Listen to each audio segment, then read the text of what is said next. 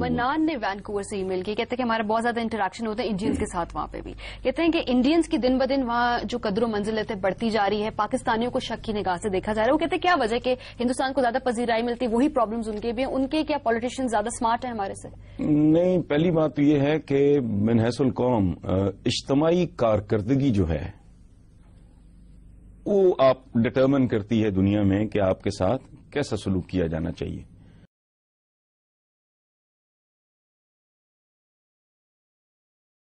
Assault on India's men in uniform, no less than two retired lieutenant generals, three brigadiers and two senior officials of the Intelligence Bureau have been denied visa on grounds that their organizations were engaged in violence.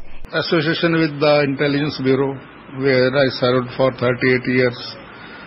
So they have defined it as a, a department which is engaging in terrorism, espionage.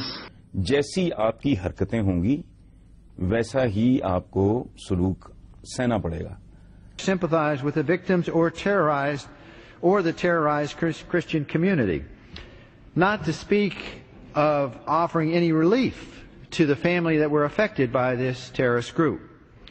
The police authorities, though reluctant to name the forces behind the attack, announced finally the arrest of five persons. All were from a radical Hindu background and lived in the slums a pastor used to visit regularly. Persecution such as this is not uncommon in India and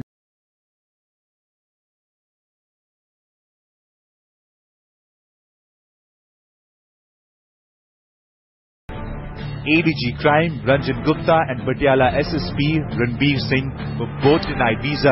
The reason once again, human rights violations will a retired DIG of the CRPF. He too was denied visa. In its letter, the Canadian consulate accused CRPF in the murder and disappearance of 6,017 Sikh youth in Punjab.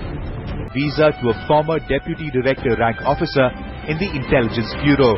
Ground, IB officers could affect Canada's interests in Afghanistan. Some extremists continue to view ineffective investigations and prosecution of attacks on religious minorities, particularly at the state and local level, as a signal that they could commit such violence in, Uh, with impunity. End quote.